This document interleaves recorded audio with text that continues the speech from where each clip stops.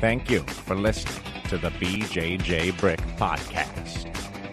We'll be bringing you Brazilian Jiu Jitsu and good times. We hope to flatten your Jiu Jitsu learning curve, help you get the most out of your grappling ability, and meet your goals both on and off the mat. Welcome back, my friends, to episode 132 of the BJJ Brick Podcast. My name is Byron. I'm here with my good buddy, Gary. How are you doing today, Byron? Oh, Gary, I'm doing great. We have a show with Joe D'Arce, the uh, the man that the Darce choke choke was named after. So, uh, very excited to bring that show and that interview with you guys.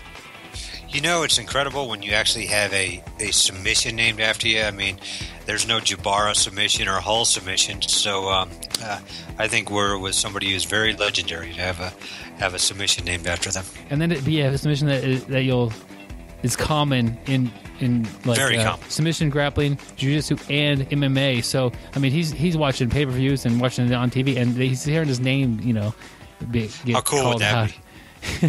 that would be incredible. And we talk about that a little bit during the interview. So uh, just just an exciting uh, and, and a fun guy to talk to, you know, and and uh, good time talking about jiu-jitsu with Joe D'Arce. So, uh, So stay tuned. Do not miss that part of the show. If you don't want to miss the show, uh, a way that you can get this emailed to you with all the show notes in your email inbox would be to, to go to bjjbrick.com or on our Facebook page and put your email address and your name on there, and uh, we'll send the show out to you once a week. So uh, that's just a, a good way that we are able to stay in contact with you guys. So um, get your show notes delivered hot and fresh. Hot and fresh, just like uh, donuts. So uh, that's that's how you like your donuts. That's how you like your BJJ brick. Hot and fresh. Byron's the fresh one. I'm the hot one. That's I'll give you that. I'll give you that. Hey, and also um, to keep your game hot and fresh, especially when you're first starting in your first year, check out Byron's audiobook, Your First Year in BJJ.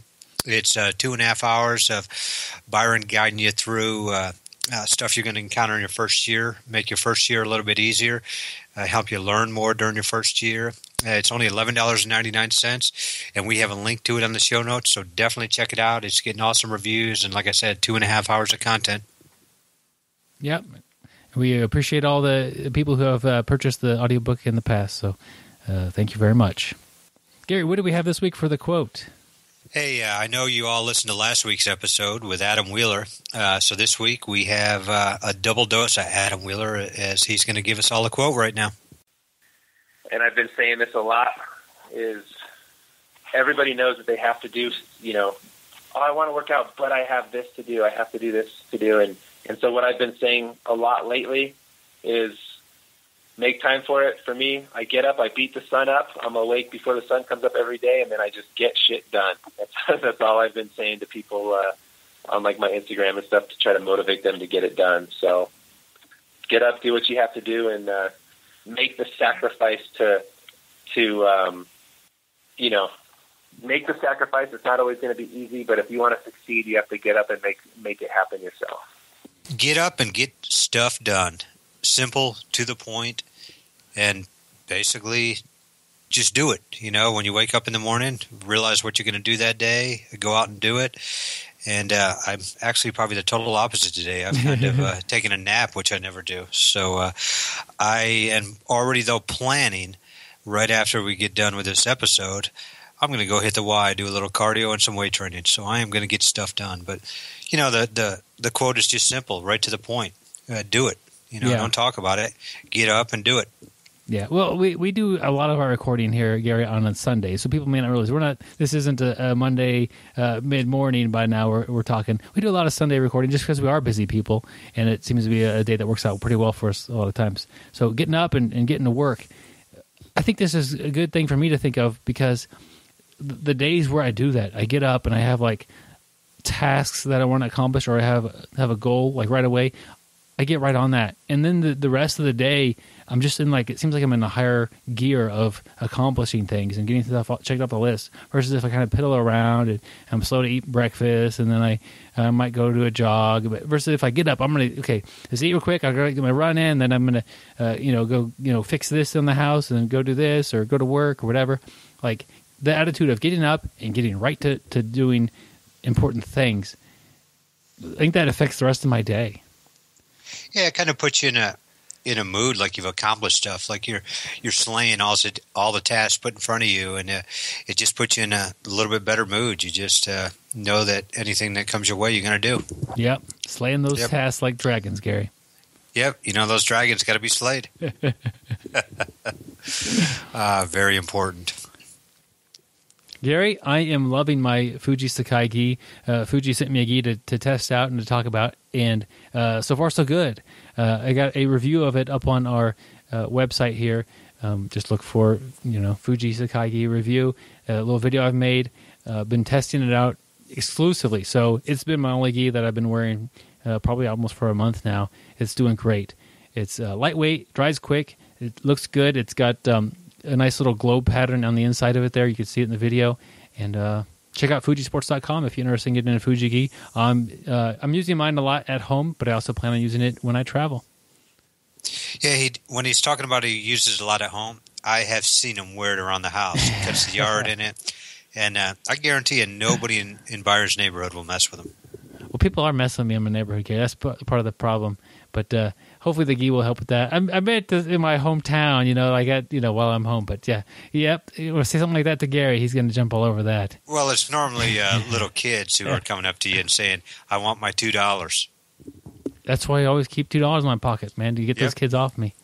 That'll work. It's easier just to pay it, buddy.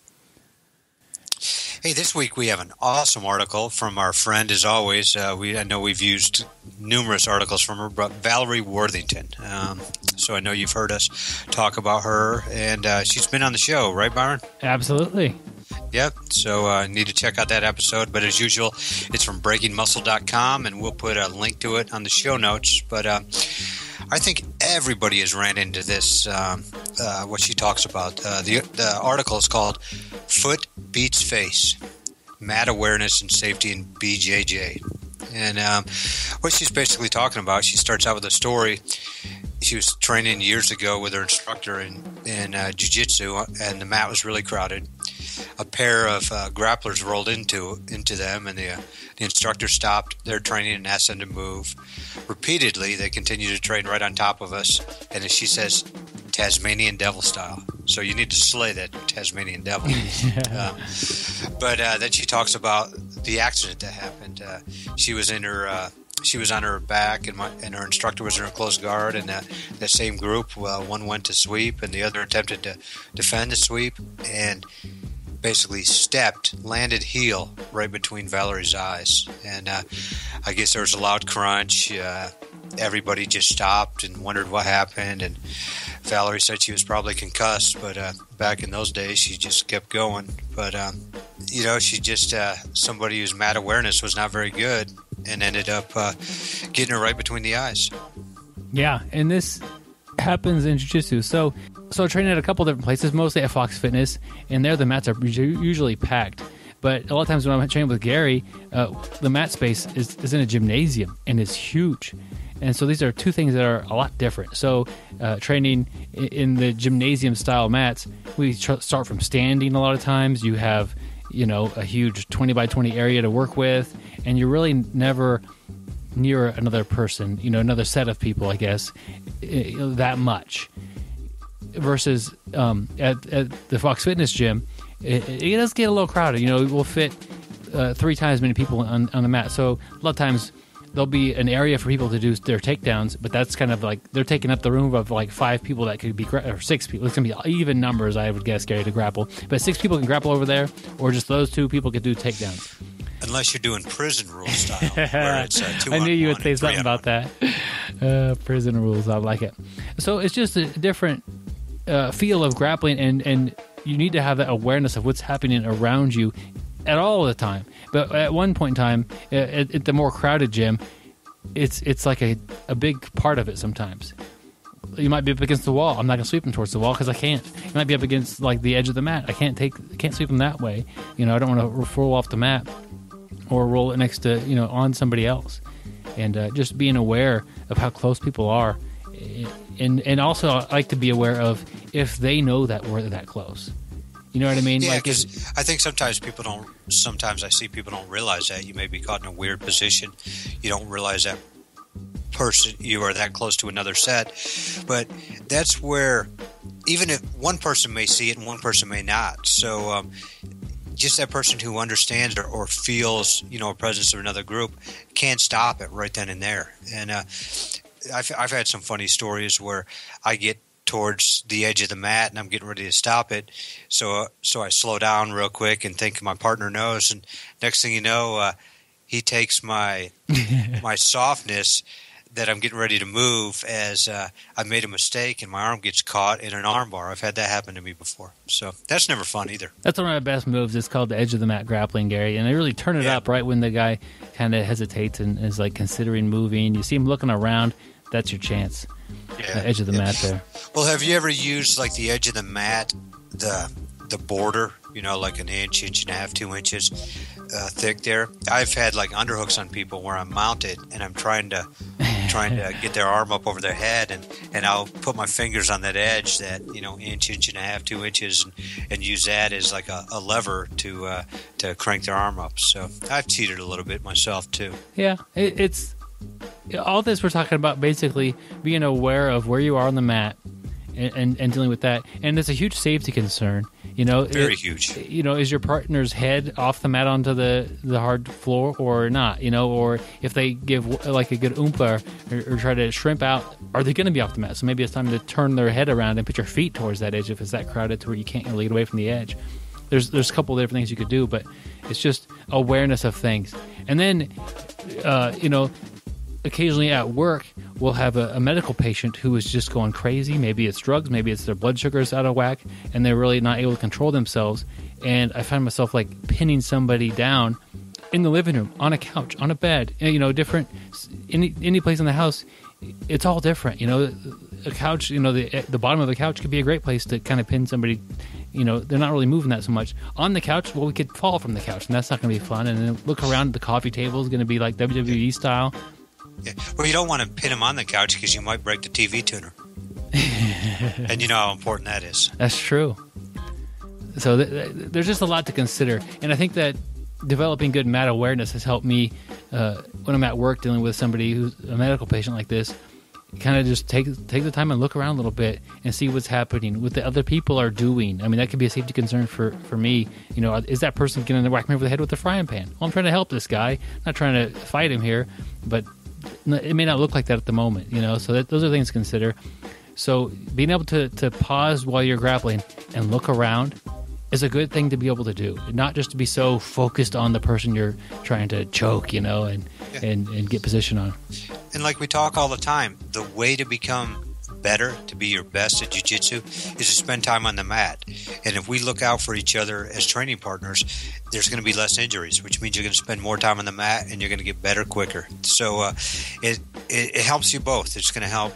It's going to decrease injuries, which is a which is a big key if we want to keep training. Yeah. So it, it, there's a, I guess there's a few different types of injuries that jiu-jitsu. You know, if Gary and I are rolling and uh, catch Gary an armbar and his elbow's sore, or he needs actually, you know, that's from the technique.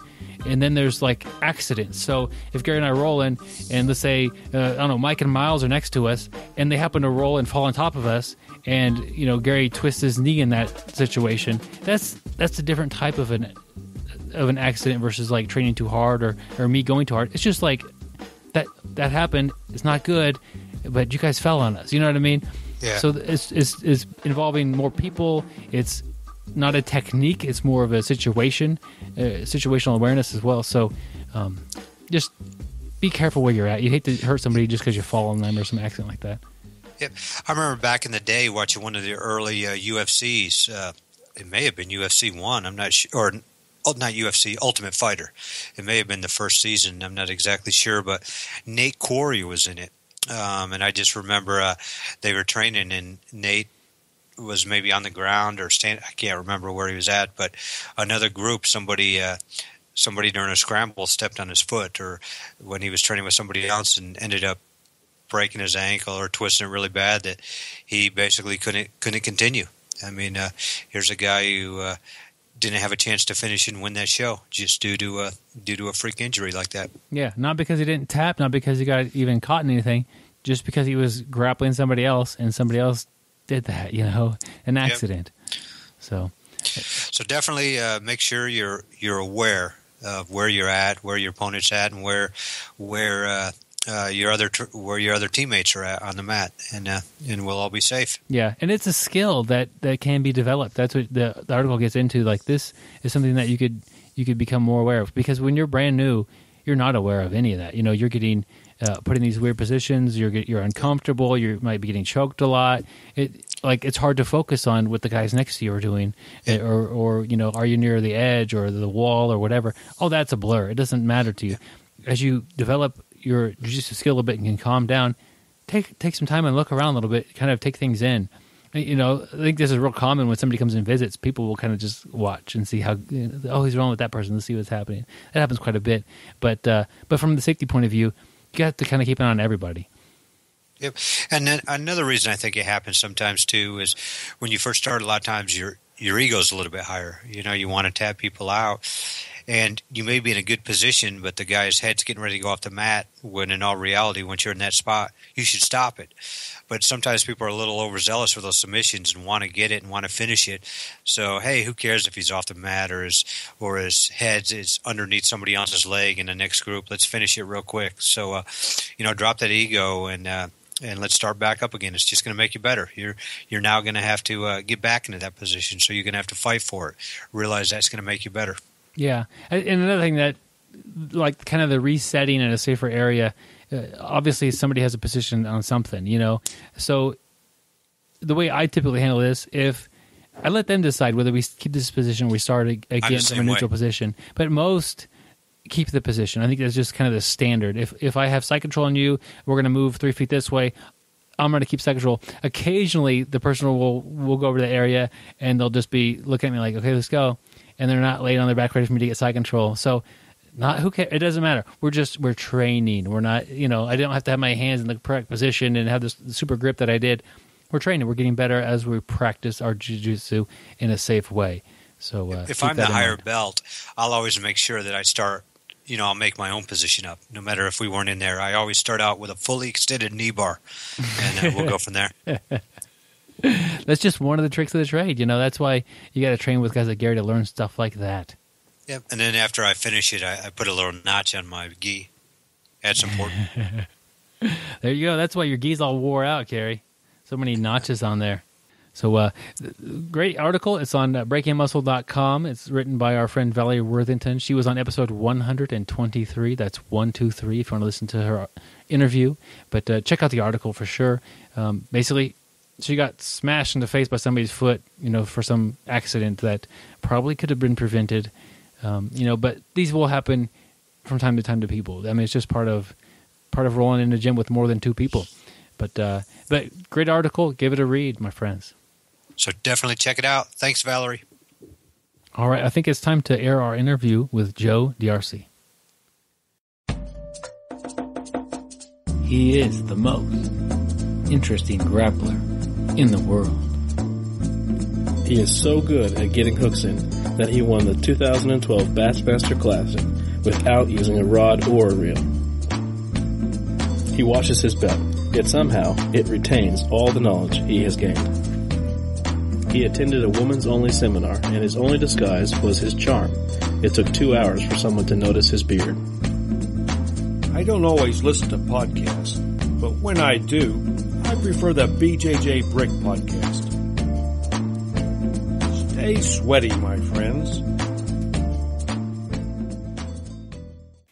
All right, my friends, I'm happy to bring Joe D'Arce to the BJJ Brick podcast. Joe, welcome to the show. Thanks for having me. Yep, I'm excited to have you here. Uh, you, you've been a black belt for basically as long as I've been training, and uh, you've got a ton of knowledge. You've got a choke named after you, and you've got a rich history of Brazilian Jiu Jitsu.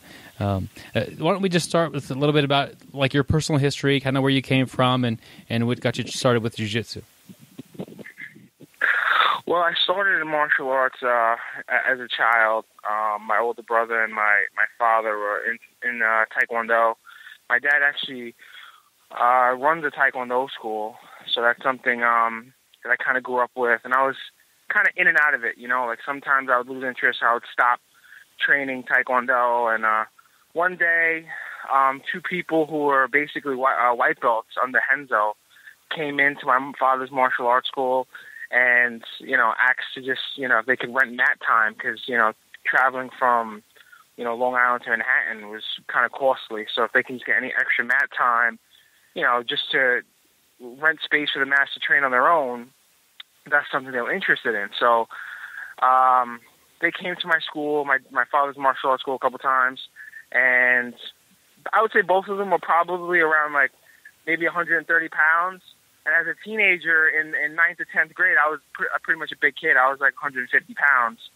So, you know, I rolled around the mats with them, and they pretty much tossed me around like a rag doll. So I said, "Listen, I really got to learn some of this stuff." So they pointed me in the right direction. They pointed me to to Renzo's Academy in Manhattan. So you started at Renzo's there when you were a kid. Um, I started or um when I was 16, and then I took a little bit of a break because I was uh, playing basketball for my high school. So I started 16, and with basketball season, I took a break, and I, I would say I started um, hardcore when I was like 17, training consistently. Okay, uh, that's common, I think, for for kids to try to just experience things. You know, you you do some some grappling, some basketball, baseball, whatever. You, you get into different things. That's what that's kind of a what, what kids do to figure out in the what they want to do in the world. And it sounds Yeah, like you were kind of in that mode. Uh, what was what was Renzo's like back then? Well, you know, back then there, there there was not a lot of higher belts. So I mean, I mean, I started in '97. So you know, that's when I first started. I started training consistently in '98, but I started in '97. And I mean, if you saw a blue belt on the mat, that was considered a higher belt. You know, there was not many higher belts. It was it was a pretty um, young sport at the time. So, I mean, it was only pretty much white and blue belts. You know, so if you've seen a blue belt on the mat, you know, that was something that uh, you would say you'd want to train with the blue belt. Like rather now, it's so popular. There's there's a lot of black belts out there, brown belts, higher belts on the mat. I mean, back then, if you got to train with a blue belt, you'd consider yourself lucky. Do you think now people are getting better quicker at jiu-jitsu because they're having uh, better training partners, like more more black belts on the mat, more blue belts on the mat? I think um, I just think there's there's more knowledge and it's just out there. So people are definitely getting better faster for sure. Um, you know, the, the knowledge is out there. Whether they whether the internet competitions, you know, like you said, there's just so many more higher belts out there that I mean, if you're really into it, like I was as a young kid, I was so passionate about it. If you're really seeking out that knowledge, it's just it's just out there. It's, it's easier to find now rather than in 1997. Yeah, it's hard to remember, but back then, uh, in 1997, there was no YouTube. You know, there's no uh, a lot of the Yeah. resources we take for granted. We just weren't there. No, you're absolutely right. There, there was none of that. I mean, I don't know what year it was. I'm going to say maybe like 2002 or 2001 when I personally started, you know, looking at the internet and realizing, wow, there's a there's a whole other coast doing jiu-jitsu, you know, like and I was watching some competitions with some of the guys in the West Coast competing and you know, but yeah, like you said 97 there's there's no YouTube. There was, there was nothing like that where you could just, you know, type in a YouTube search, uh, guillotine choke or triangle escape and, you know, hundreds of of techniques pop up. There was none of that. So, w- when did you start competing? I would say it started in 1999, and um, you know, as a blue belt, I was competing in '99, and then I got a little bit more serious about it, 2000, 2001. And and you competed from there all the way up to black belt. Yeah, I was I was pretty active. Um, I was pretty active com- in competing. Um, you know, that's pretty much my focus. I would go to college, and you know, while I'm in college, I was thinking about jujitsu moves, you know, arm locks and things like that. So I was uh, I was really into it. Trained all the time, and I mean, if I wasn't at Renzo's Academy, I was, you know, training in, in somebody's house or in my house with with some mats with some buddies, and I was training pretty much every day. I think that's one of the reasons why, um, you know, when I went through the ranks, I was just I was so active in the in the competition field that I think that really helped me to improve quick. Competing more uh, increased the speed at which you actually got better. I I would say so because you learn from your mistakes. Whether I lost or if I won, you're always learning. You know, I mean, obviously I didn't win all my matches. I I won a decent amount amount of them, but you know, I'd watch the, the film of the of the you know matches that I might have lost, and whether it was by a takedown or, or points, and you know, I'd always try to get better because no one likes to lose. So I would make sure that that specific um, situation didn't cause a, a loss the next time. So I was always studying my own film and uh, things like that. Yeah, that, that's one thing that doesn't really happen much uh, in the in the gym. You know, we I lose all the time in the gym. I get tapped, and I, I don't really worry about it. I just it's just part of training. But if you know you compete, you kind of think about okay, what happened, and, and you break it down and try to learn from it a little bit more than you would just from getting tapped in a normal situation during training. Everyone get everyone gets tapped in the gym, and if you and the thing is, if you're not getting you know pushed or you're getting whether it's tapped or if you're not getting passed or swept in the gym, then you know I, I don't know where you're training. I mean, you should, that's that's the I consider training in the gym pretty much the lab. That's where you want to try your moves, moves that maybe you're not that proficient at. You know, you want that's where you want to try them because it's a controlled setting. I mean, that's where you're supposed to get better. You know, but in the same respect, if you're training for a tournament, you know, uh, uh, you know, when you're focusing for a tournament, you got to have that that mental mindset that you know, if I'm training and I'm going to compete next month and I'm on the mat, people, I'm not going to let them pass my guard. That that's my mentality. I can't. I can't give up those points. So if you're training during, you know, the off season in the sense that you're not training for a competition, yeah, that's the time where you play, you have fun. You know, maybe you give people your back, you let people get side mount on you. You know, hey, if they tap you, hey, no problem. You regroup, start over, and that was fun. We'll give it a shot. But you know, it, it depends what you're doing. You know, I remember when I was training competitively you know, you always have to have that mindset for the points, whether if it was like a sport jiu-jitsu match or a submission grappling match. You know, there's you follow what I'm saying, right? Yeah, yeah, absolutely. It uh, you need to have a, a different mindset. I'm curious. Um, so, what was your what was your game like during your competition years? Like, what kind of a game plan did you come in with? That's that's that's funny you ask. I I was out to to lunch with one of my students, and they, they were asking me that when I used to compete. You know, what was or something I like to do. I prefer to be on top passing, but um, in in in the gym and in training, I always work my guard so I can get on top. So I, what was important to me was to know that if I got on bottom, that I would be able to reverse the position and get on top enough to pass. So, I mean, just like most other guys, especially from Renzo's, I mean, we were known for, you know, passing the guard very tight, you know, not giving much space and, you know, controlling the person on the bottom. I think the whole academy was known for that when I was competing. So, I mean, just like everyone else I trained with, I, I would prefer to be on top, look to pass, and look to finish from the top. And and as you're developing this this top game of, of passing with a lot of pressure and tightness, um, I, think we all kind of experiment with things in jiu-jitsu, you know, at different times in our in our development. Uh, some things sometimes you you find things you you take it a little, bit from over here and a little bit from over there, and you you kind of add it to your game.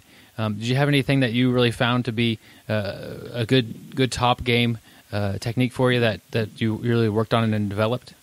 Well, you know, I remember, um, I, I, like like you said, I always like to pass tight, low, uh, control my opponent, but like like everyone else, I would watch videos. I would watch videos of what's what's working, what's being successful for people, you know. And I remember as a purple belt, um, just watching some of the some of the black belts that were fighting and some of the things they were doing and they were having success with, and um, just trying to mimic it, mimic the, mimic some of the stuff they're doing in the tournaments and just messing around with it and training and, and see if it applied to my game. Cool, and, that's, and, and there's one black belt in particular. Yeah. There's one black belt in particular. Um, um, uh, Margarita. When, when he was competing, he was, uh, you know, very successful with a lot of different passes, and that's someone that, you know, as a purple, when I was watching, I tried to mimic some of the things that he did, and um, you know, some were successful, and uh, you know, maybe some weren't. But again, it's just about trying to expand your game, seeing seeing new techniques out there, and just trying to, to, to get better, expand the things you do, and be open minded to you know numerous types of techniques. You know, you you don't want to stick to just with a handful of moves that you're good at. You know, it's you have to uh, play around with other things because you know I could go against somebody where maybe my my low type passing will work, and then guess what? maybe it won't. Maybe I have to stand up. Maybe I have to do more of a bull type, a bullfighter type pass to to pass this this specific guard. So it's important to to be well rounded in that sense, you know, because I know that. I'm sure you know that too. You know, you train with some people. You know, maybe maybe it's a little bit easier to pass their guard a certain way, but you really don't want to, you know, engage too much because maybe they have a really good spider guard or they have a really good half guard. So maybe I want to make space and you know try to step around and bullfight.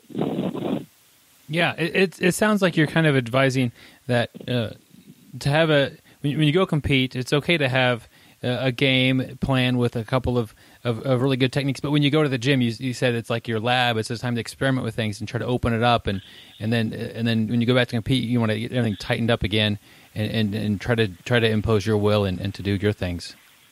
Definitely. Well, uh, okay, your your name Joe uh, is pronounced D'Arce and there's a choke that is a very similar uh, pronunciation. Uh, people call it the Darce choke. Yeah. W- what do you have in common with the Darce choke? And tell me a little bit about this history.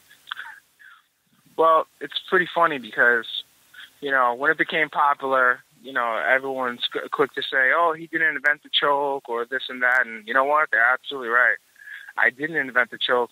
I never claimed to invent the choke. Um, I was actually shown the choke by uh, one of Renzo's black belts, uh, John Danaher. He showed me the choke. I uh, I really liked it.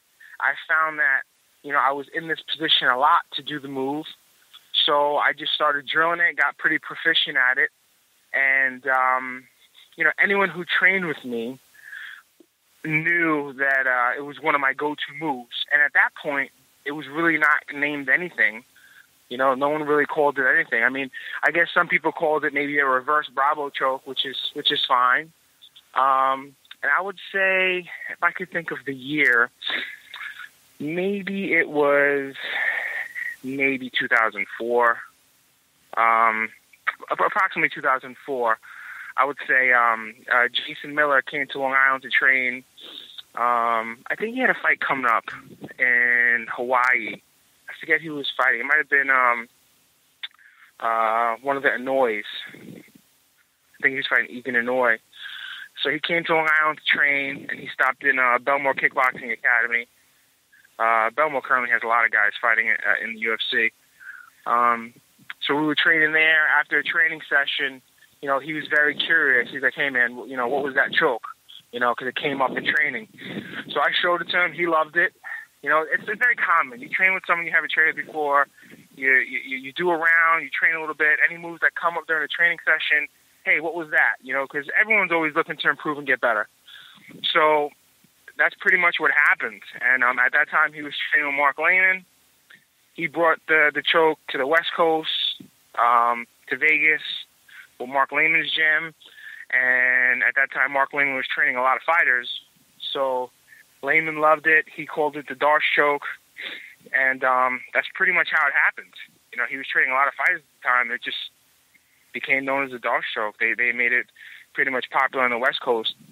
They're aware how to spell my last name and how to pronounce it, but you know, when I when I asked Mark about it, he just said, "Hey, man, you know." Darce is way easier than D'Arce. You know, it's one syllable. So if I'm coaching my guys, I just say them. That's pretty funny. I, I get a chuckle out of it.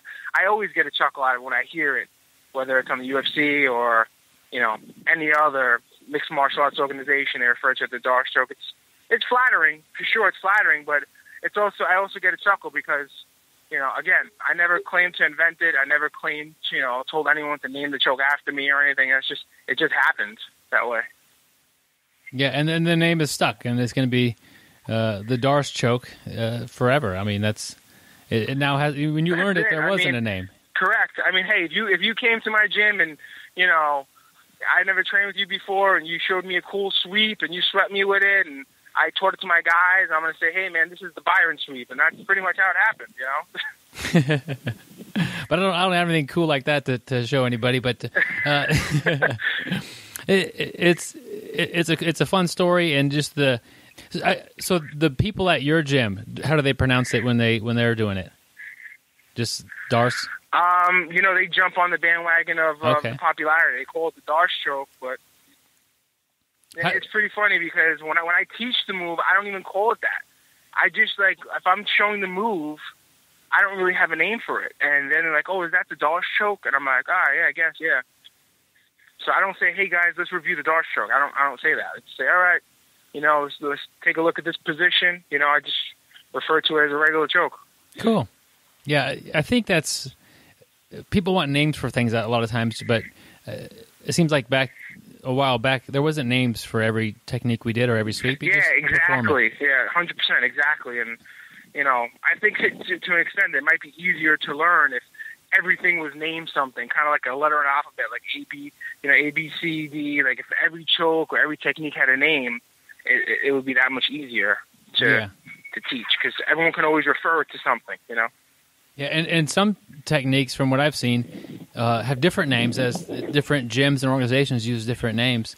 Uh, it's Yeah, in that for sure. culture, but doesn't translate or you know uh, go over all of the the ones. But like the Darce surely yeah, has. so it's just go ahead. no, the, the- I mean the term Darce is, is what people use in all the all the different academies and schools around the, around the world. I've seen I've seen people refer to it as like a reverse anaconda and a reverse brabo as well. And I guess it's the same. You know, it can be considered the same. Hey, and guess what? If they refer to it as the reverse or the reverse anaconda, that's fine. you know I mean? Again, I never I never said, Hey, this is my choke, name it after me. That, that's not that's not what happened at all. Yeah. It sounds like you're just a guy who, who found a choke that worked well for you, and you got really good at it, and somebody came in from out of town, and they were impressed by that, and they took it back to where they were from, and and then uh, it was out of your hands. Bingo. I remember. I remember having discussions with uh, John Danaher, you know, uh, about, it, and he kind of uh, chuckled himself. He he giggled, and I I wanted to let him know. I'm like, hey, John, you know, I never claimed to invent this. You know, everyone that asked me about it, I let him know you showed me this move, and he just he he he he, he thinks it's funny as well. He just kind of chuckles, and he knows. He knows the type of person I am. He knows I'm not. You know, out there saying, "Hey, this is my choke, everyone." You know, Cole's the Darce choke. I made it up. That's that's really not what happened. Like you said, it's just I was pretty proficient at it. I was doing it from a lot of different um, setups, and you know, trained with someone from out of town. They ran with it, showed showed their uh, buddies in the West Coast, and then that's pretty much how it became popular on the West Coast.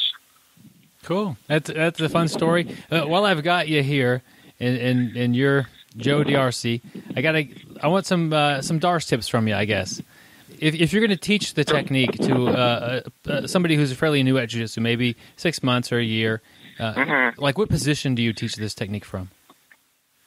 I think the easiest position to teach it from is the is the turtle. You know, rather than um, you know, when someone's turtled, you can always make a back latch and take the back and get the hooks in. But pretty much from that position, you know, if someone's in the turtle and I'm on top, um, you know, you go right into that position where you get that gable type grip, where you know you you you, fish your your arm inside. You get your shoulder on the person's um, chest area, make that palm to palm grip behind the head, drive them up. Once they're on their side, you just grab your bicep, just like you would for like a, a rear naked choke. Put that hand on the person's shoulder and squeeze. Um, one tip I would say is I, I see a lot of people they jump ship too early on their palm to palm gable type grip, and then the person on bottom, you know, they'll straighten their back or they'll manage to escape. You know, I see that often. When you when you make that gable grip and you really drive your partner on their side, you have to make sure their head is close to you before you jump ship on the palm to palm gable grip and reach for your bicep. I, I see that all the time, even in my gym. And I, t- I let them know, hey, you, you can't jump ship on the gable grip too soon. You have to really make make sure you're controlling, um, you know, your partner's head there with that palm to palm type grip. Once you have that head close to your body, that's when you can, you know, fish that arm in and grab your bicep, and then you can just squeeze and look for the tap. It sounds like you're really stressing that it's not a, a speed thing. Is you're having control over the person. Hundred percent. You know, because if you rush it, you're going to lose it. And again, it's something I see all the time. Whether it's you know just watching videos and competitions or or fights, or you know most of the time just in the gym, I see people. You know, they try to do it. They just they look to rush and get the finish. And I don't have long arms. Maybe some people can. You know, but you know, I was I was forced to really you know get that control. You know, keep that palm to palm grip, pull the person close to you, and look to finish. Maybe people with longer arms can skip a, a step, you know, right to the grabbing the bicep and finishing. But you know, I, I couldn't do that. I had to take it step by step. Now, uh, if somebody is wanting to is thinking about learning the, uh, this choke, do they I, I there's a lot of different things I could learn right now based on my body type and and and the, the tools I naturally Mm-hmm. have. Would you recommend that somebody with shorter arms or longer arms is easier or harder one way or the other? Um, you know, I don't. I, I, I obviously people with longer arms maybe they have an advantage, but people with normal to shorter arms, I think they can still do the move. Again, it's just you can't rush it. You have to go step by step. You know, you have to, you know, control the person, your partner on bottom with that palm to palm grip when they're on their side. Okay, and then once you get that control, that's when you go to the finishing hold. I think um, that's the most important part because I've trained people who they say, "Hey, I don't really have long arms. I can't do this move," but they- they're trying to jump right to the finishing hold where they're you know grabbing their bicep and squeezing, and you know they- they're totally skipping the step of controlling your partner with the palm to palm gable grip. You know, if you really pull your partner's head close to you, okay, and you squeeze squeeze that head close to you, shoot in for the finishing hold, that's when you're going to be successful with the choke. But to answer your question, people with long arms, they probably have a, a little bit more of an advantage, but people with normal to short arms can still do the move if they just use the proper technique for sure. So you, you recommend the the turtle top turtle as a great position to, to learn this, but uh, you, I've seen the Darce in many different positions. Um, is that Correct. is that one of the stronger positions to start it from, or is that just a great position to learn the technique from and, and branch off? I think I think it's important. I think it's important just to to get comfortable uh, learning it pretty much from there. You know, I- and then once you're used to finishing the move, I mean, you can do it from half guard. You can do it um, from knee on belly. You know, from side mount. You know, there, there's a lot of different variations and setups you can get into it. But you know, I, I think you have to feel comfortable with finishing the technique. You know, with with grabbing uh, that palm to palm grip, keeping your partner close to you, and then working up and finishing the choke. You have to get comfortable executing it in, one position before you can play around with it in numerous other positions, or else it's just going to turn into a, a sloppy attempted choke. sometimes when I get caught in a darce, it feels like I'm getting just kind of just crushed, and sometimes it's like a really tight choke, and I'm going to get pass out. Uh, what is the person doing differently to to provide the difference? I think the arm positioning. So if you feel like your head's getting crushed, they probably do not have your arm uh, appropriately across your, your neck in the right position. You probably maybe have it across your face or a little higher across your ear. Um, so that's important as well. You have to get, um, if I'm on top of you, I want your elbow pretty much right on my chest. Okay, and then I'll I'll control control you with my palm to palm grip, and I'll shoot in for the finish. But some people, you know, maybe the arms not in position, maybe maybe your arms across your face or more, more towards your forehead, and that's when it turns into a crank. So that arm position, because ultimately it is a head arm choke. So if the if the arm is not in position, then that's when it's going to turn into a crank. Yeah, and it, it, it's very painful, but it's not uh, not putting you to sleep uh, so much as, as when it's done properly. Yeah, and you know when I see that in my gym, I you know I, obviously I, I, I correct it because you know what nobody wants just their face cranked or or their neck cranked, you know, because you know even if someone's stubborn not tapping, they- they're gonna have a a sore neck the Yeah. next day rather than if it was just a straight choke, you know, they tap, you know, and guess what, they can do another round. So Yeah. I, I definitely intervene when I see that, especially with newer people, because you know I don't want the guy on bottom going home with a sore neck. You know, there's a guy who just came to get a workout, learn some martial arts. You know, I don't need him going home, going to work the next day, and he can't turn his neck. That that's something that I would ask when I was first trying to pick this choke up. I I'd get it, and they they if they tapped, I'd ask, was that um, was that a, was a good choke, or was I kind Yeah. of just cranking on your neck there? And Yeah. getting that feedback Yeah. was was good. No, that's good etiquette. That's good etiquette to do too, because you know if they said, "Hey, no, you know, it was more on my face," and you know, for next time, oh, okay, maybe I'll adjust it a little bit. Maybe I'll be successful if I could just adjust that arm a little more. But yeah, for sure. Yeah, it, it's uh. So I also want to know if if I if if I come into your school and you don't know me, um, I kind of want to get Darced. I mean, like it, it's kind of a uh, wh- why not? You know, why not have Joe D'Arce uh, catch me this choke? Do you, do you do you still do the technique very much? Um, I do. I do. It's it, it's still a big part of my game. You know, um, being that it's, it's, it's popular now, it's not really surprising anyone. You know, I mean, It's not the move that I'm going to pull on someone. They're going to say, "Wow, I didn't see that coming," because you know they know it's coming. Yeah. But again, I, ju- I just have to be better at executing. You know, I mean, they know it's coming. I have to be tighter at my position.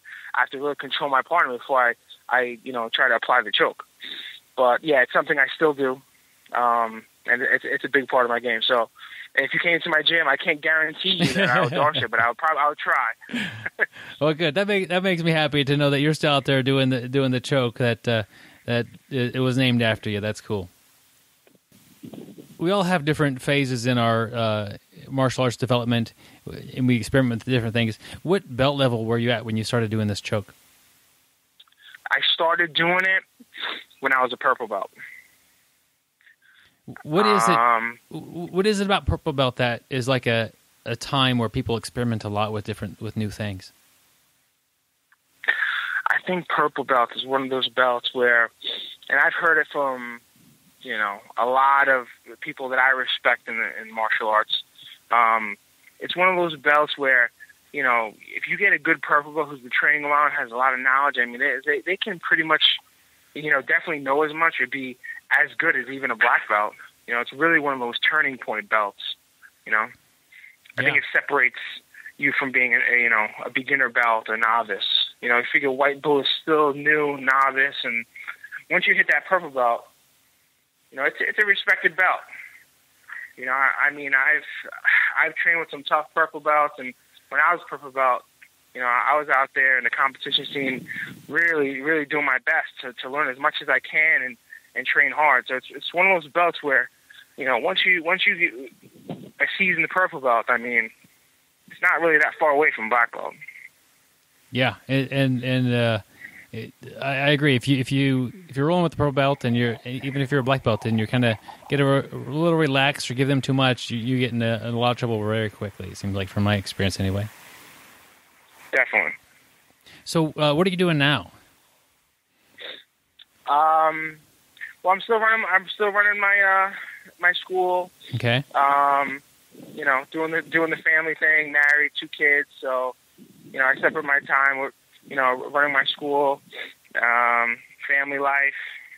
Got two dogs.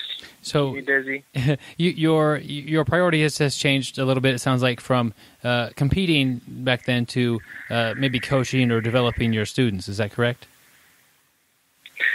Correct. Um, yeah, for sure. I mean, I competed for so long.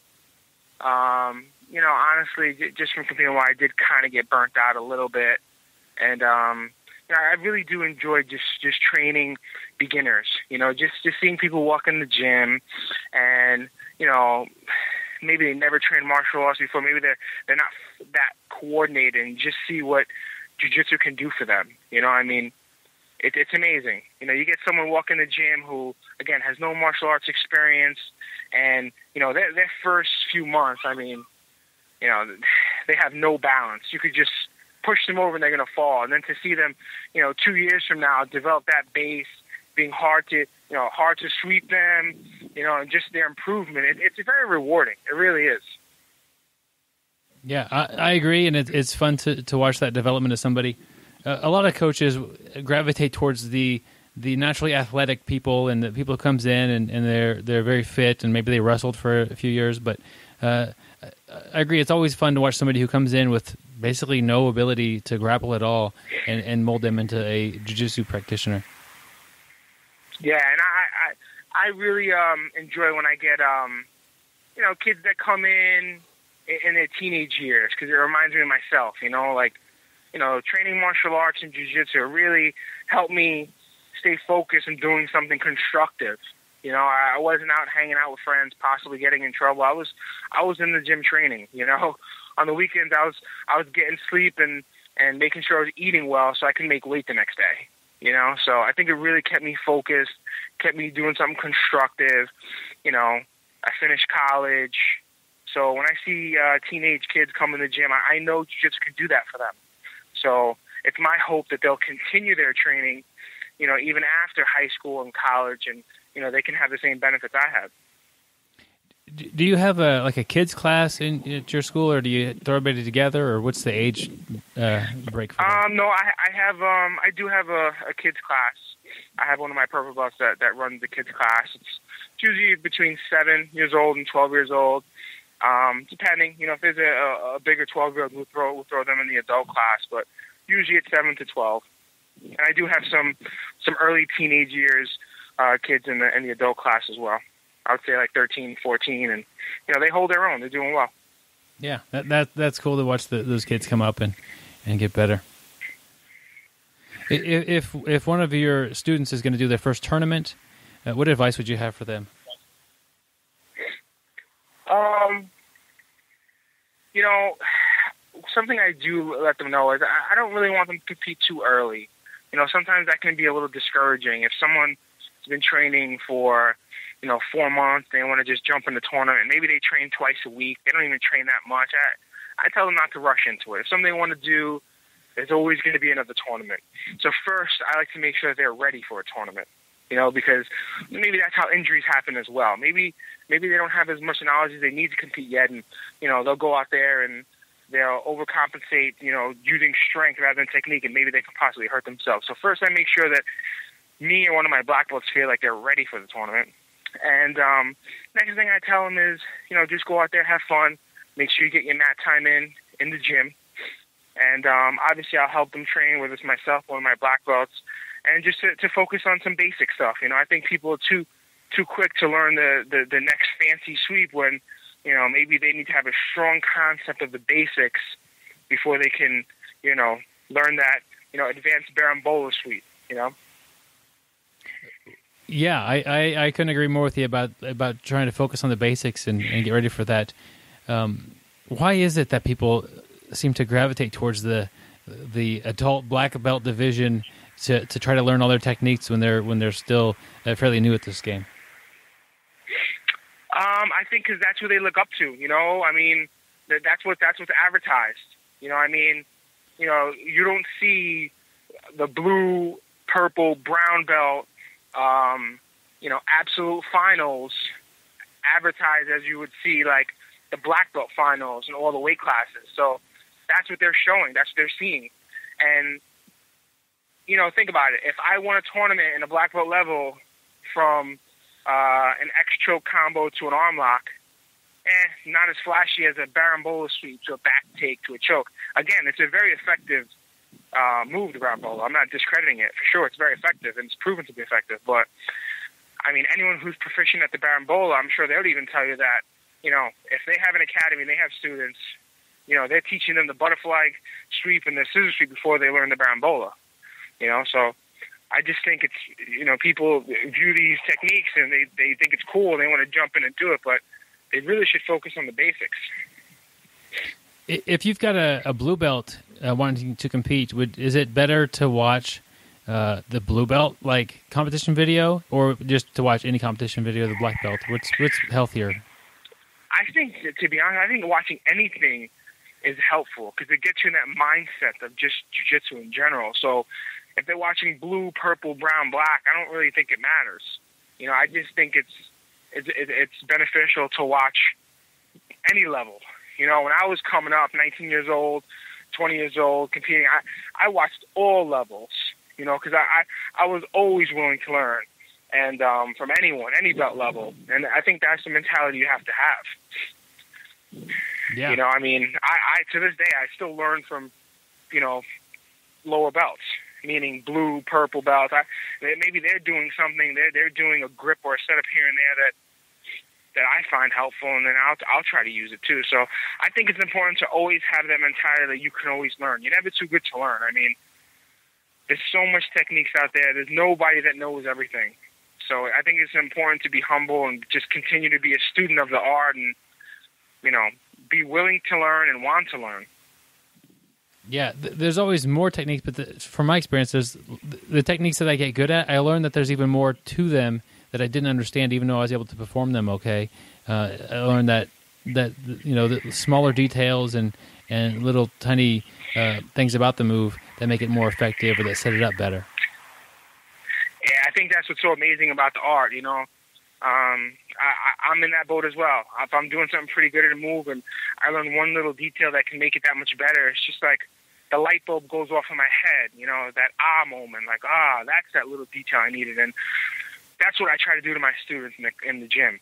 You know, if they're pretty good at the move, they're missing a detail here and there, and when I should make make that little correction, and I see that light bulb in their head go off, like ah, that's the reason why I wasn't getting this choke, or that's the reason why he was getting out.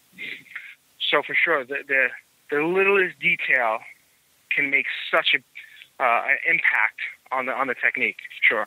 Yeah.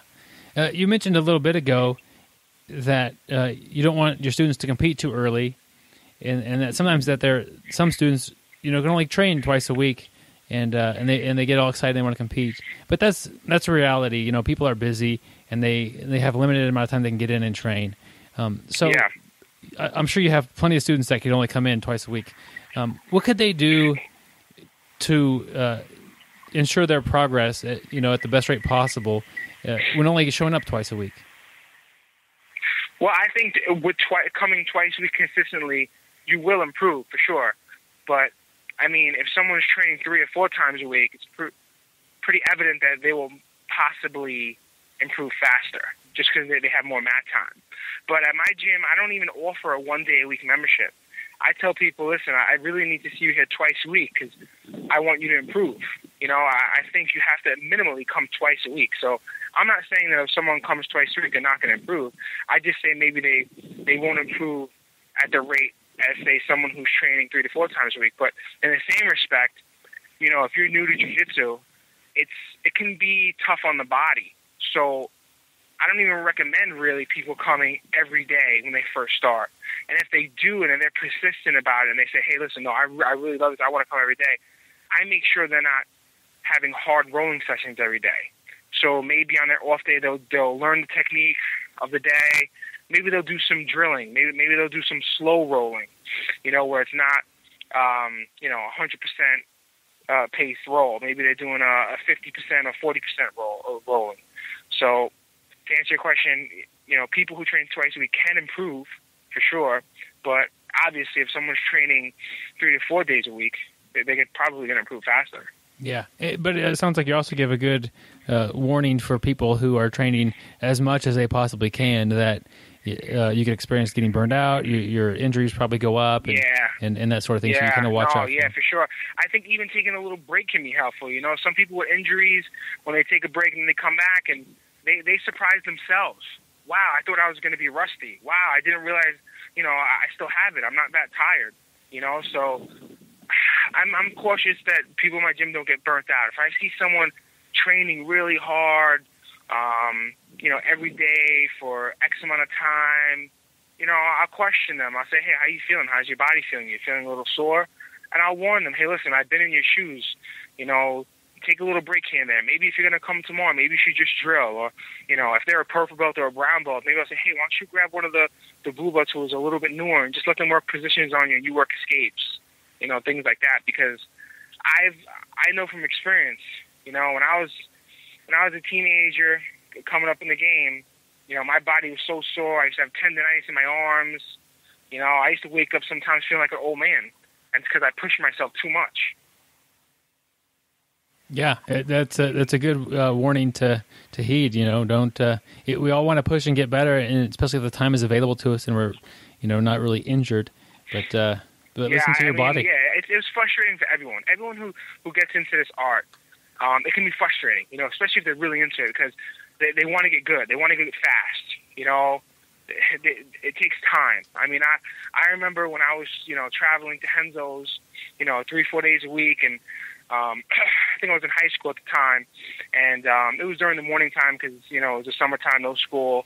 And I remember uh, talking to one of my instructors, Rodrigo Gracie, and I said, you know, I'm just so frustrated. You know, I'm, I don't feel like I'm improving. You know, because I was going against people more experienced than me, and I was just always on the receiving end, whether it's, you know, them smashing me on top or just sweeping and finishing me, and you know, I would stick in there and I would finish the rounds, and he just told me, he goes, man, listen, the bridge wasn't built in one day. And that's something I tell my students to this day, you know, because I remember him telling me that, and he's he's absolutely right. You know, as a young kid, and I was really into it. Um, I was training all the time. I just I wanted to, to get good fast, but it, it takes time. It's not something that's going to happen overnight. So, when I see that student who's frustrated in the corner, you know, with his head down because he just had a bad rolling session, I said, hey man, you know, the the bridge wasn't built in one day. You know, just stick with it. You're improving. Um, you know, it just takes a little time, but you, you're going to get there. You know, you're doing well. You know. Yeah, that's that's. Uh, I, I love that story. It it makes uh, everybody realize that that you were once that that person who felt like you weren't getting any better, you're frustrated, and, and, your coach had to talk to you and say, "Hey, you know, the bridge wasn't built in one day. You'll get better, and it's not. You're not going to notice how much better you're going to get right away, but but keep at it, and you'll get better." That type of uh, message, and now you're you're giving the same thing to your students because uh, they're in a similar situation that you experienced already. So that sounds like a, a great uh, great way to coach and bring up your students as they have those rough days. Yeah, because I mean, I experienced it. You know, I experienced the frustration, and I experienced the the effects of overtraining. So again, when I see things like that, I just like to, to give my input and let them know, hey, I've been there. I'm not I'm not speaking from, you know, lack of knowledge. I've been there. I've experienced it. You know, so whether it's overtraining, you need to take a break, or just, just drill techniques, or take a couple days off, or the frustration of just having a couple bad rolling sessions. You know, you just got to stick with it. You know, don't get frustrated as long as you're having fun, you're getting a workout, and you're learning, that's what's important. Yep, I, I, I agree on that uh, entirely. Um, we talked a lot about students, and you mentioned that you really like to see students go from uh, like having no balance, and then uh, you know as time goes, they get to be uh, good you know, at jujitsu. Um, what would you say would be a trait, like a personality trait, or something that you you would recognize in a student early on, and think that that they're going to stick with it and do well? Um. Well, I think a lot of it is in a mindset. You know, a lot of it is a mindset. Um, you know, you'll see who's who's open to instruction, things like that. You'll see, you know, if someone in the beginning of their training session, if just their mannerisms, if if they're when the round ends, if just how they react. You know, some people you just see that they're more mentally tough than others, as far as the frustrations of, of training jiu-jitsu in the beginning. You know, just things like that. A lot of times, wrestlers would, um, with their background, wrestling is such a hard sport. So if you have someone that came in your gym who has a wrestling background or wrestles competitively, they know what it's like. They they they know, you know, how hard you know the this sport can be on the body. So I mean, a lot of times you get tough wrestlers that come in and you know they'll pick it up quick. And uh, again, wrestling is such a hard sport that to translate to jujitsu, you know, they they have a step ahead of someone who just walked through the door without any wrestling experience. Yeah, yeah, that it uh, it definitely will uh, harden their mind and body and and make them uh, give them that mental toughness that you're gonna you're gonna need for wrestling and jiu-jitsu. Definitely. Sticking with the theme of helping out uh, the newer students, what would be a good goal for a student during their first year of training? Um, first year of training. I mean, everyone everyone um, progresses at a different pace. So obviously, you know, if you when you're new, I would imagine your first goal is getting your blue belt. Um, but I think what's important is just to, to, to think about improving. You know, I mean, don't get caught up in in, in in the belts. You know, just I tell everyone in the beginning, listen, just worry about improving, have fun, get a workout, and you know everything will come together. You know, I think if they put too much pressure on themselves in a time frame of, of getting promoted or or something like that, it, it can be it can be sometimes detrimental. So I, I think for newer people, it's just you know coming in, be open minded, be willing to learn, and um, you know have a good time. Like we spoke about earlier, I mean, there's so much knowledge out there. So if someone comes in brand new and they really want to learn, I mean, they can get better pretty fast. You know, they can improve pretty fast. So, I mean, obviously being a blue belt in a year is very, very feasible. I mean, I would say sometimes people can get blue belt in nine months or seven months, depending how often they train. So it can be a goal, but again, I wouldn't get stuck on just the promotion aspect of it, of, of getting a blue belt. I think the important thing is just to worry about improving, you know? Yeah, that, that's good advice. And it, and you, and you could have that goal to, for the blue belt, but that seems like the people who are are most frustrated if you've been training for a year and a half and somebody's been training for a year and they get their blue belt before you do. That seems like it's a huge, uh, like a demotivating factor for the person who's been there a little bit longer. Yeah, no, it, it can be. You know, it can be, and you know, again, people people progress at different rates. Yeah. So I mean, you know, sometimes that does happen. You know, and, it, and it'll take the coach or, or the, the instructor to take that person to the side if they're getting frustrated because people are getting, getting promoted before them, and just let them know, hey, you're doing a good job. You know, you know, maybe, maybe that person who got promoted before you, maybe maybe they're training um, three, four times a week. You know, and you're coming twice a week, and hey, you know, you're you're improving. You just you know they're, they're coming a little bit more, and that's why they're disapproving a little faster. It's it's nothing to discredit yourself. You're still doing a good job. Sometimes you need to give them that little pep talk and and let them know as an instructor you see them on the mat and they, they are getting better. Uh, it sounds like quality coaching that you do uh, for the student who is a little discouraged. Joe, what would be a good way for somebody to kind of keep up with you and what you're doing, or, or maybe uh, find you online? Um, I do have a, a website. Uh, a couple of my students run uh, a Facebook page and an Instagram page, and they they post some stuff here and there. I'm kind of out of the loop with social media, um, so I have uh, people help me with that. I'm kind of like behind in the times.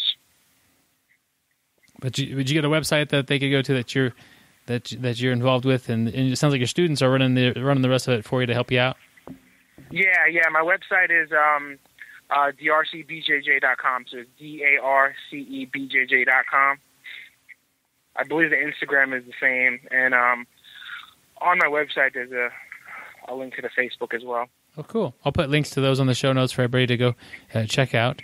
And if they uh, want to come train with you, uh, the website can get the job done. They can find you through there. Definitely, yeah. If anyone's in town and want to stop in, everyone's more than welcome to. Yeah, you get to. Uh, he'll try to darce you. He, he's he, like you said. He's not promising he'll get the job done every time. I, hey, I can't guarantee it. You know, there's so many. There's people out there so good at the move, and who, who made the move even more popular. You know, people like Jeff Glover. Um, you know, there's so many people out there executing the move in all different positions and situations. So I'm even a student of the game. Sometimes I'll pop in some of their moves on uh, that they post online. I'll, I'll learn a couple things. So That's cool. Always learning, and like you said that before that you're always always That- learning, always a that's the student. mentality you have to have. You know, you got to be humble. You got to always be a student of the art, always learning. And I think I do have uh, on my website. I do have one setup that I posted of the Darce choke that I do on there. So, you know, feel free to check it out. That's excellent. Well, thank you for that. Um, I, I appreciate the interview. It's been a pleasure talking with you and, and learning from you and learning a little bit about you. Thank you very much, Joe. Thank you. Well, I really appreciate Joe D'Arce giving us this interview. Uh, great to get to know him and know the man behind the choke. And so every time you hear that choke, you could, uh, you know, think about who he is. And, and if you happen to go into his gym and train, he's gonna he's gonna try to Darce choke you. And uh, you know what? To be honest, for me, I bet he gets it. so uh, that's cool. And what an honor that would be too to Yeah. be Darce choked by by Joe. Yeah, why? I mean, that's the that's the the best person to get that to get caught that choke by.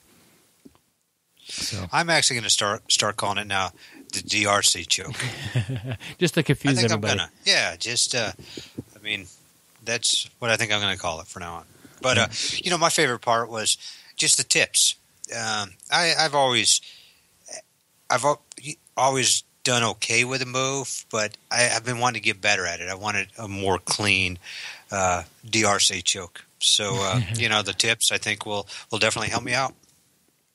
Well, that's good. And I, yeah, I couldn't pass up the opportunity to get tips from him. You know, he's the man behind that choke. So, uh, great opportunity there to, to have him on there. If uh, you want to keep up with us, the opportunity is probably on Facebook, Twitter, uh, our YouTube channel, and uh, wherever else you might find us on social media. Those are the main ones. So, Yep. uh, And speaking of social media, uh, you'll definitely look good in a BJJ Brick gi patch on your Fuji Sekai gi when you uh, post a selfie on uh, Facebook. So uh, if you want to get a BJJ Brick gi, give us a review. Go on to iTunes and uh, give us a review. Try to make it funny. We'll read it on air. And uh, send us an email, bjjbrick at gmail.com, or send us a message on Facebook. Let us know that was you, because otherwise we have no clue who sent it. Let us know it was you, and if you live in the United States, we'll send you out a BJJ gi patch for free. Yep. Boom. It's that easy. One review. Boom. You could do it while you're, uh, you know, you're sitting idle and waiting in line for something, or, or don't do it while you're driving. But when you got an extra five minutes, uh, write the review, and you get yourself a gi patch in the mail. Write the review, then write an email to us. So Yeah, very important. Hey, also, uh, we got uh, Claudio this week. As you know, Claudio has been teaching us Portuguese. And uh, this week, he's going to teach us to say four different words in Portuguese uh, yes, no, good, and bad. The nice thing is, now you'll be able to describe my jiu jitsu. He's going to teach you how to say bad. So you'll be all set. there we go. All right. Here's our friend Claudio.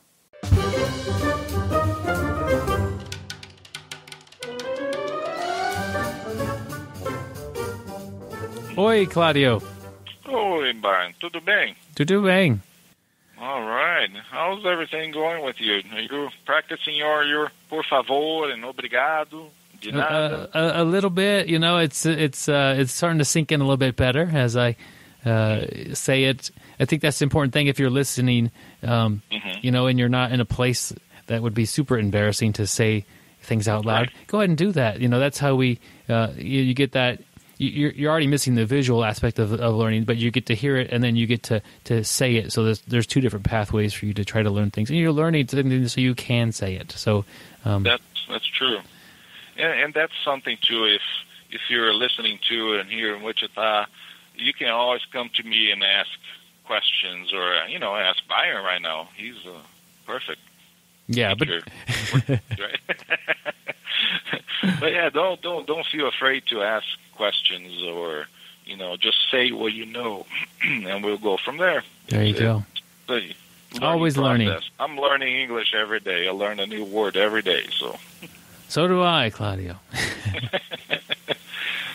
All right, let's see. What are we going to do today? We're going to talk about we we talked uh, seen or no, right? Yes or Yes Uh, and no would be would be valuable, and I think uh, maybe good and bad would be right. would be Okay. nice. All right. So the the first one will be the yes. Yes is sim. S I M. Sim. Sim. Uh huh. You won't. You, you don't sound the M very much. You know, like a sim, like a sim card. Okay. You, you don't. You don't sound the M. It, it's it's almost like an N, but it, you, you don't really sound. It just dies. You know. You says S I and the M is almost. Uh, how do you say that? Uh, fades away. fa- fades away. Exactly. Thank you. So sim. Sim. It, you, exactly. Good job. Good job. And the the no will be no. That's a tricky one. It's uh, uh, very nasal, so you, you almost have to say it through your nose. No. basically. No, No. no. you put you put your tongue. Uh, here's here's uh, here's a little tip. You Good. I need a tip. On top of your mouth, like that. On the top No. of the mouth. Uh, not the mouth. Uh, the what do you call that inside? inside The roof of your mouth? Uh, the roof of the mouth. Thank you. You learn a new language, new word in English today. uh, and you pronounce it no. So you start with the tongue on top of your No. mouth there and says no. And the sound almost comes out of your nose. So go ahead, give it a try. No. No. No. it's getting, it's getting. Uh, I, I feel like it's a tricky one. yeah. Um, yep. I'm not. Uh, that's one of the, one of those words that uh, it's going to take a little practice for me. No. No. okay. It, it sounds like you're saying no, but a little bit differently. No. It's, I mean, if you say no, uh, I, I know what you're saying. You know, if you're if I don't speak any English and you say no, it's basically the same thing. It's no. You know, just a little Yeah. little bit different, but it's understandable. you can tell wh- what you're saying. No, you know, shake your hands, wave your hands. Uh, no, I don't want to do this. You know, no, So- I don't want to get you know I- choked out or something. Claudio, for Mhm. uh, does a head nod yes or no? Is that the same? Absolutely the same. Yes. So and I'm head up and down is yes, and then side to side is no. No, side to side is no. Yes, that's that's exactly right. So on that, you know, sense, you can communicate to body language is very important too. So that's that's a good way to think. You know, you can say no, shaking your hand, you know, your head left to to right or something like that, and Okay. they would know what you're talking about. Okay, well that'll get the message across. And then how about uh, good and bad? good and bad. Okay, good is boom. Boom. bone, B O M. If you're if you're writing it down, and uh, bad is it depends. It, it can be ruim. It's R U I M. So bone is good and bad is ruim or mal. Mal is another word. It, it depends on the context. It, it depends where you're trying to communicate. So if you're saying, "Oh, this this food is bad," for example, you're gonna say, uh, "Essa comida é ruim." Who-im. So you say ruim. Yeah, it's it's it's bad. Now, um, if you're feeling bad, now you say estou me sentindo mal. So it, it depends what you are trying to communicate. Okay. So it could be bad could be two two different two different words. Ruim, mal, and there's a few different ones too that we can use, but those are the most used ones, I guess. And and good is it could be well, uh, it could be bem as well. It could be good, just bom. So it could be bem or bem is more like a well. I'm doing well. Estou bem. Like tudo bem. Remember that the first Tudo week? bem. So that bem is well. It's close to the the uh, good. Okay. Can be used in the in the same the same terms too. Also depends how you're using it. So good, bom, Boom. and bad, ruim or mal. Who-im or Mao. hmm Um, so now, mal is almost like mall, you know, M A L L. okay. You pronounce the A a little bit more instead of O, you know, like a A mal. Mao. Yeah, like mouth. There you go. Like mouth or mouse? Um, mouth as my mouth. Mouth. Okay, like Mao. hmm Mao. Okay. Perfect. Perfect. So if I ate something with my mouth, I will be feeling Mao. If I ate something bad. That's right. Right. Okay. you're Um, feeling bad. You're feeling mal. okay. And the other the other bad is describe something um, other than yourself, maybe. Exactly. Okay. Yeah, that's those are the the ideas. So, um, boom. I think I've heard this before. Uh, it seems like um, some people that are teaching jujitsu will uh, show you a technique, you know, like grab right here, boom, and they'll say that, and it's just to me, I've heard the word B O O M, and then they're just like adding action to to their to their description. You know, grab this right here, boom, and then over here, boom. Uh, But really, they're saying this is good. Uh, Is that true, or am I making that up? Well, it it, it depends. I think on the uh, what you're using for. Like on that sense, uh, uh, it's hard to tell. It could be they're just saying boom as bam. Yeah, There you yeah. Just a just There a, an action word, or Yeah. Okay. Exactly. it's not necessarily just telling you good. Okay. well, that, that, uh, these these are good to know, and I have to I'll have to work with saying no. Uh, Mhm. I'll be nodding my head, that's for sure. Um, No, no. That's right. But that, that's good to know that that, that nodding your head. Uh, sometimes things flip in reverse, or sometimes it means something totally different. So you always have to be careful of, of body language and hand gestures uh, when you're going to somewhere uh, that's, That's foreign to true. you. If you were asking for a new uh, more drinks or another caipirinha or something like that, you just ask, See, sim. Just wave it. Wave more here. Yeah. Well, these are good.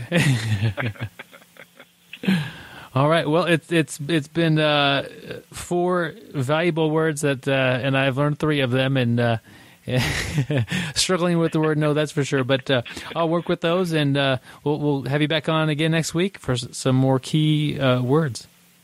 All right. Thank you very much. Yeah, thank you, Claudio.